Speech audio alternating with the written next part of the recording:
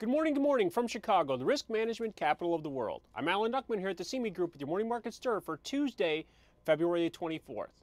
Quiet Monday, markets did bounce back to unchanged. That's where the E-mini S&P futures settled, 2107 unchanged. Did not make new highs, but did come back from negative activity most of the day.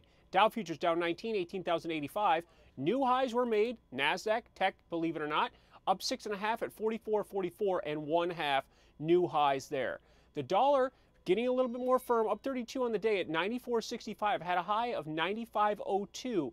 So 95 is an interesting resistance level as we've seen it drift here in the last three weeks. The euro currency finished down 63 at 113.36.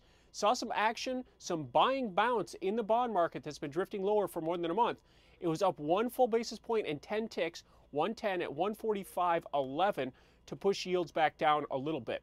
Crude oil down below the $50 a barrel level for the second time in the last three weeks on a closing basis at 49.45, down $1.40. The low of the session was 48.70, so let's watch that 50 level on a weekly pivot basis. Gold down $4 at 12.01. So after the unchanged to mixed action yesterday, the where did the market stand on this Tuesday morning? Well, we're off a little bit. We're down three quarters of a point in the E-mini S&P at 2106. The Dow futures are up 10 ticks, up 10 points at 18,095, and the Nasdaq down two and a half at 44.42. So relatively unchanged action here in the early morning.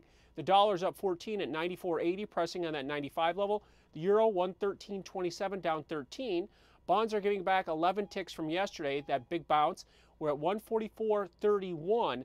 The yields right now on the 30 year 2.68 and the 10 year note 208, so holding above that 2.0 uh, 2.0% uh, support. Crude oil is down 20 cents right now at 49.70, and gold's off $2 with the firmness in the dollar.